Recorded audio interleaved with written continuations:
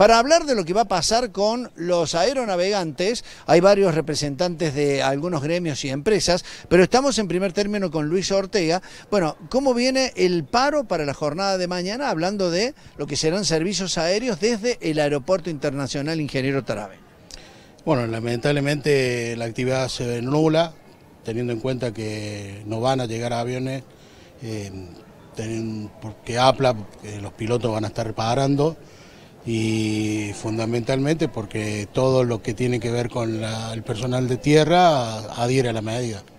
¿Sin concurrencia en lugares de trabajo van a estar acá? Sin concurrencia va a haber una guardia mínima este, por cualquier eventualidad, por algún servicio para el INCUCAI, para cualquier emergencia, vamos a mantener alguna guardia este, en cada empresa, pero bueno, vamos adherimos al paro en su totalidad. Eh, pero lo que queda perfectamente claro es que desde aquí no van ni a llegar vuelos ni salir tampoco. No, de la gente, de los compañeros que tienen, al menos de que eh, adhieren, que es Intercargo, Aerolínea, este, las demás, las empresas, las aerolíneas ya empezaron a, a cancelar los vuelos, a reprogramarlos y en ese caso nosotros vamos a estar eh, adhiriendo, adhiriendo la medida. Vamos a hacer una pregunta a Carlos Fernández, que es el responsable de prensa. Bueno, este, el motivo de esta medida es protestar en contra de las medidas que están, las medidas económicas que está tomando el gobierno de, de Javier Milei. Buenas tardes, Julio. Sí, principalmente en las medidas económicas y particularmente por la situación en la que estamos viviendo todos los trabajadores, en particular de Aerolíneas Argentinas, de Intercargo, de, FADEA, la fábrica de aviones de Córdoba. La verdad que nosotros estamos con un atraso paritario que en estos momentos ya estamos llegando al 90%, o sea, tenemos el salario absolutamente disminuido, casi a la mitad. Estamos muy por debajo de lo que es una canasta básica alimentaria y tenemos la, inmensa mayoría de nuestros compañeros que no están pudiendo llegar a fin de mes, que se están endeudando con, el solo objetivo de poder llevar los alimentos a, su, a sus casas. Entonces, Creemos que nosotros hemos sido bastante pacientes, hemos tratado de tener todas las medidas, todas las instancias de diálogo, pero la verdad que, que la empresa y el gobierno no, no, están abiertos a esa mesa de diálogo, no, no, no tenemos convocatoria para poder discutir nuestra situación actual, así que es un momento desesperante y creo que no, no nos queda otra más que, parar para, tratar de visibilizar cada vez un poco más nuestros reclamos, que es absolutamente racional. Bueno, y hoy se ha conocido que ya hay dictamen para la privatización de aerolíneas argentinas. ¿Esto todavía eh, agrava más el panorama o el planteo que ustedes están observando?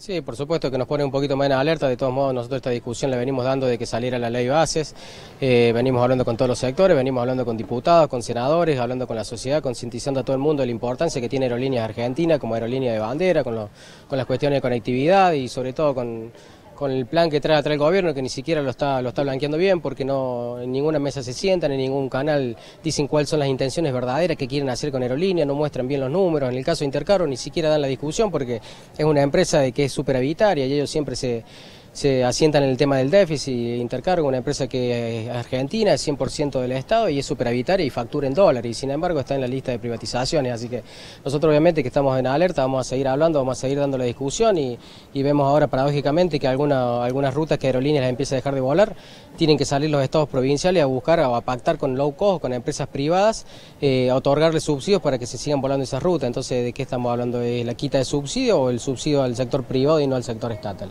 Bueno, eh, lo último, Luis, eh, recién hablábamos fuera de cámara acerca de los salarios, lo, lo planteaba bien Carlos. Eh, por ahí se habla de salarios excesivos en aerolíneas argentinas. Sin embargo, vos me contabas la otra realidad.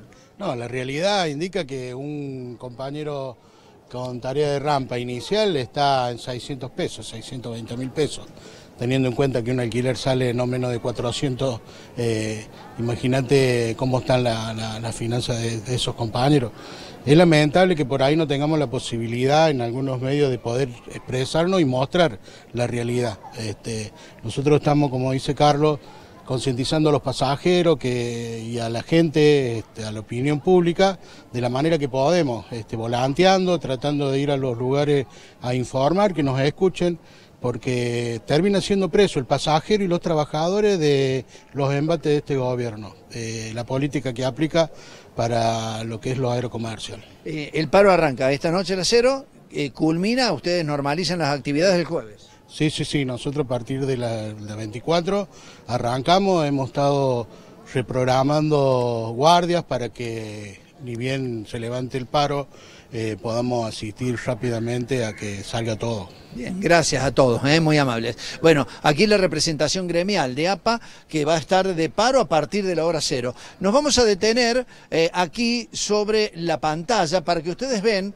vean todos los vuelos cancelados. Este, la etiqueta roja marca los vuelos que han sido cancelados. Claro que en algunos casos, algunas compañías han buscado algunas alternativas para poder volar en el día de mañana. Tal el caso, por ejemplo, de JetSmart y Flybondi, que han elegido como destinos y para operar eh, el aeropuerto internacional de Ezeiza. Desde allí, dicen, van a tener rampa para poder hacer algunos vuelos esporádicos de acuerdo a la programación que tienen para el día de mañana. Y el otro caso es de la empresa Copa Airlines.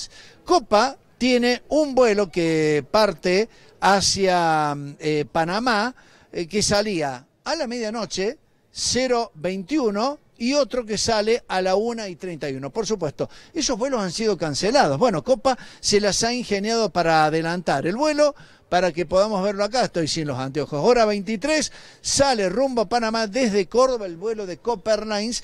La manera en que esta compañía ha logrado tratar de reprogramar su vuelo, salir antes de la medianoche y de esa manera tomarles el momento del paro cuando ya están prácticamente eh, fuera del espacio aéreo de nuestro país. Bueno, la situación entonces que mm, eh, se vive en estos momentos en el aeropuerto en la previa a este paro que se realiza para la jornada de mañana.